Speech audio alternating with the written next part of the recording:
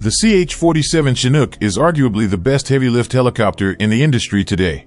Development work on the CH-47 began in 1958 and the Chinook took its first flight in 1961. The dual rotor system boasts a combined maximum of 10,138 horsepower.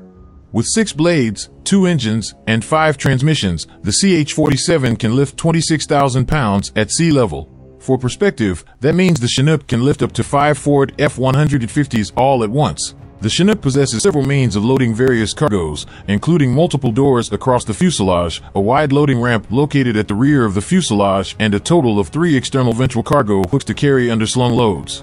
With its triple hook cargo system, the CH-47D can carry heavy payloads internally and up to 26,000 pounds externally. The Boeing-made CH-47 Chinook can float on the water for a minimum of 30 minutes, even with the engines turned off.